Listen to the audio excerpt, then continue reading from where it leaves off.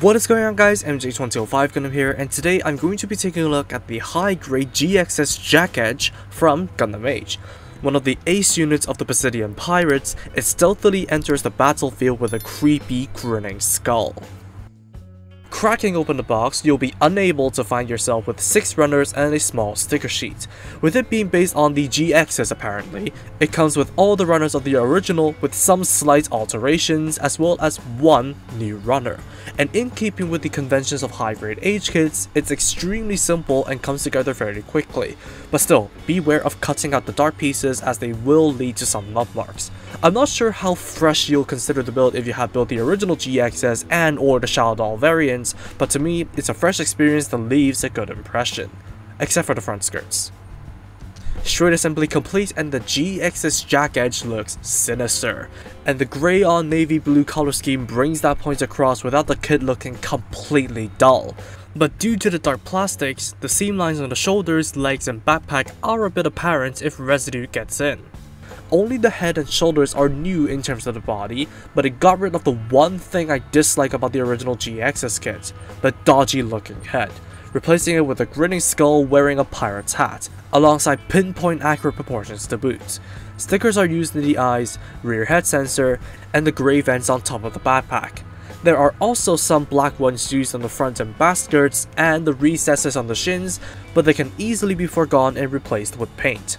Overall, Bandai has done a great job with the G-Exes and Doll variants, so the Jackedge is no exception. And since it adopts a dark color scheme, it depends on the person as to whether to bring out the detail with black panel lining. Articulation wise, the head is on a double ball jointed neck, but apart from the mullet getting caught on the collar, there are no limitations.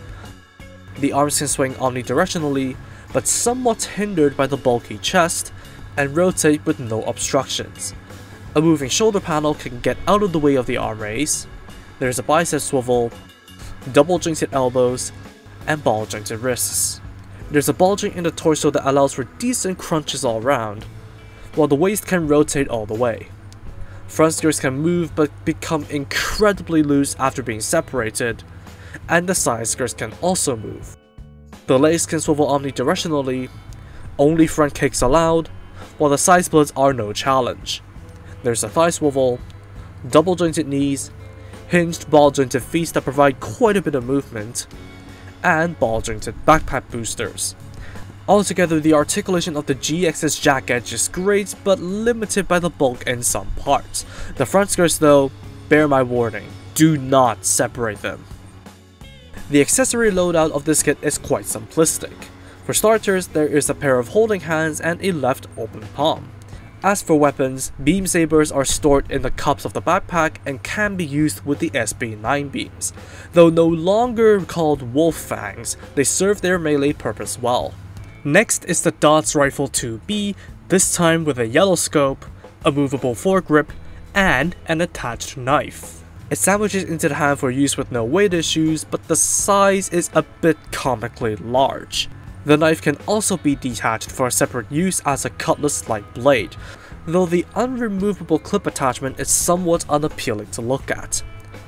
You can also store the rifle by flipping out the tab and sliding down a panel on the butt and plugging it in, which is nice. As added firepower, the side skirts can flip up for the missile pods to face forward. Fire in the hole as they say. Finally, there's the shield is the standard issue Shaldoll shield and can be held in the hand for use, with the support of the peg going into the handcuff.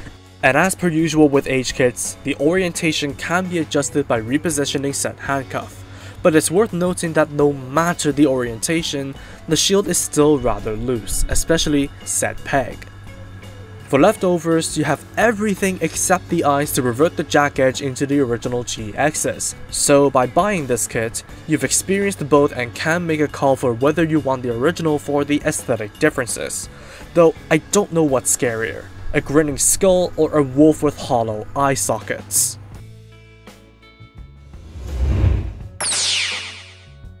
In conclusion, I'd actually recommend the high-grade G-Exes Jackedge. It's a pirate suit, so Yeah, but apart from that, it does its job representing the mobile suit in a high grade kit. The only issues I've had with it are the loose front skirts after separation, but otherwise, it's still a great one to have in your collection, and maybe get a few in order to have a team of these with your other Bisidian kits. Like I said, the changes between the Jackedge and original are purely aesthetic with a knife stabbed into it, so if you are to pick between the two, go for the one you like the look of the most. Otherwise, have fun. And that's all for me. Thank you for watching, drop a like and comment if you did enjoy the video, subscribe for more content like this, and feel free to follow me on social media with the links down below. That said, take it easy, stay safe, and I'll see you in the next video. Peace out guys. Bye bye.